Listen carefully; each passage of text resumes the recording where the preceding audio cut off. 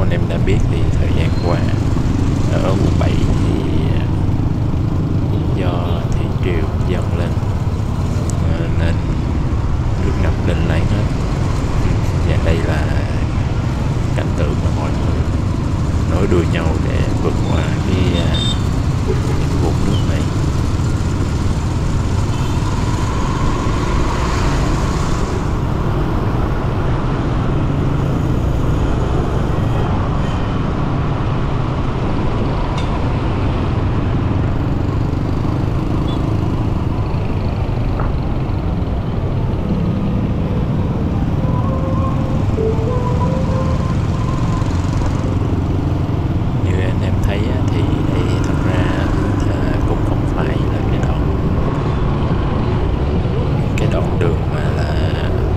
cao nhất.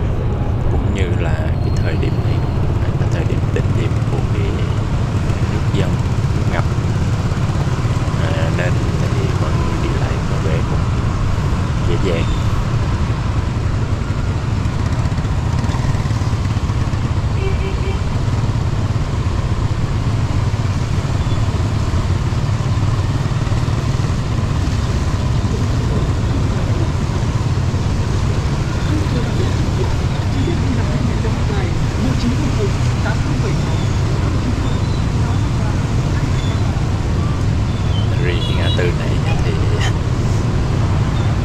khá là cao. Nhưng mọi người thấy đó thì có vài xe đã dừng lại để tránh ờ, vào bô nước vào bô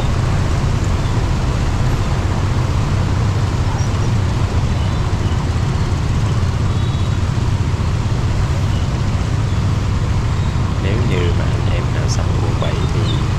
chắc đã quá quen với cái con đường thông thoát này ngày xưa mà nó chưa có nâng đường á thì à, tình hình nó còn ghê gớm hơn nữa nhưng, à, nhưng bây giờ thì sau khi nâng đường thì nó chỉ cập đến lúc này thôi nhưng mà thực ra thì mọi người cũng đã quen với nó rồi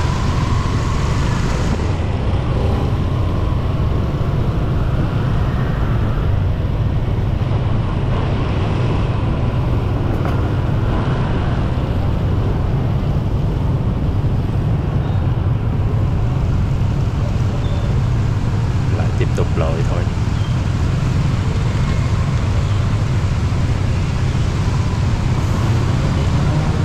nhất là chừng trong đấy anh là nghe cái tiếng à, điện rồ ga thành là đang bị nước vào bồ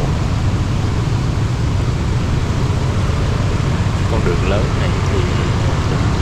tương đối không cao lắm, nhưng mà những nhất là trong những cái con hẻm, thì đa phần nước khá là sâu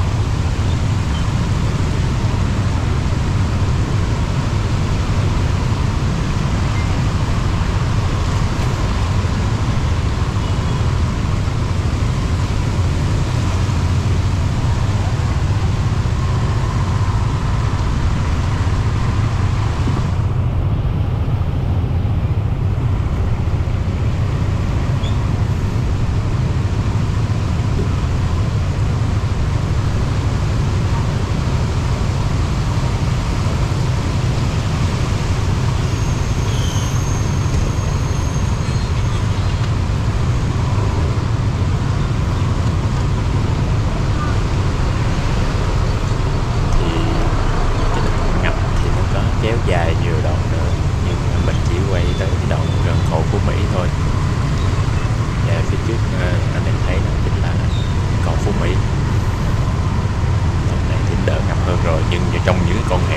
hẻm thì luôn anh em thấy chưa?